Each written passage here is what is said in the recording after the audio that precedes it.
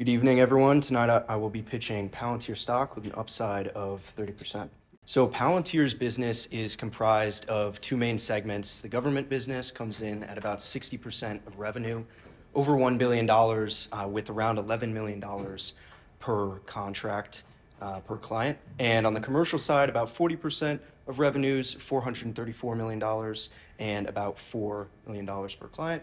So what exactly does Palantir do? Well, I describe Palantir as the operating system for many of these government institutions that they are partnered with, as well as commercial enterprises.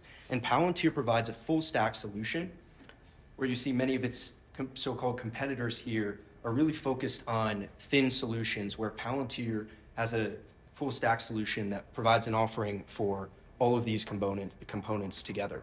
So on the government segment resiliency, as you would imagine, with these caliber of clients and the length of the contracts that they have, there are very high switching costs involved once Palantir gets integrated into a government organization.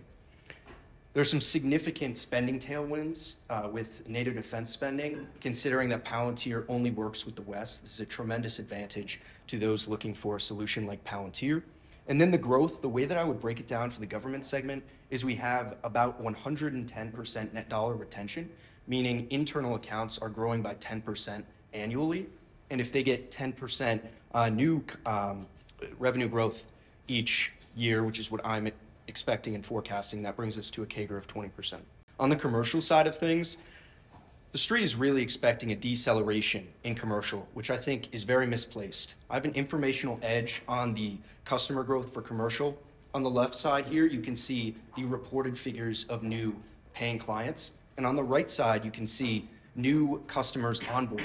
Now, this is something the street, frankly, I haven't seen them discuss it at all. I'm not even sure if they know um, it's possible to get this information. But the way that Palantir sets it up is the clients have to log in um, on their site palantirfoundry.com, you can actually see the customers that are listed as are being onboarded to the platform. And there have been some tremendous growth in recent quarters, new clients being added. And I believe this is going to carry forth uh, with the six month sales cycle. Similar profile with the growth, 120% net dollar retention for the commercial side, getting to a CAGR of 30%. For a competitive cost advantage, Palantir offers a land and expand model, meaning it has significant lock in effects ease of integration uh, and scalability. And margins improve over time, as you see here from the graphic on the right. They offer a loss leading component up front where they work with organizations, and then they expand and scale, and the profits go from there. They've saved BP $50 million, Swiss Re $100 million, and Tyson Foods $200 million, and were ranked number one in AI and ML by Forrester last year. So, on the valuation side of things, I've used a 60-40 split between the DCF and the Compco.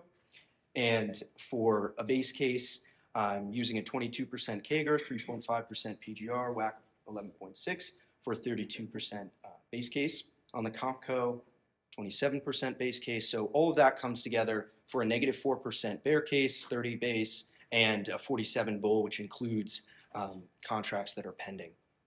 Fairly asymmetric uh, upside. So what are the catalysts? Well, a real commercial rebound. We've seen some deceleration from the commercial side. I'm expecting this to pick back up again. You see CEO confidence right there, indicating an inflection upwards, as well as usage-based pricing that they're working on offering to some of these smaller organizations that are interested in getting on with Palantir. Large NHS contract that I've included in the, the bull case. Uh, it's pending for later this year. It's very significant. And on risks, you know, as was mentioned earlier, AGI is certainly a risk to Palantir's business, but this is a long run concern. Uh, and the consumer concentration for the, some of their major customers uh, is definitely something to be aware of, as well as contract volatility quarter on quarter. So I'll close with this quote from Palantir's CEO. No other company in the world has been focused on this for the last 20 years like we have. We know the products are transformational. There are literally thousands and thousands of users, and at this point, countries that depend on our product for their survival. Thank you.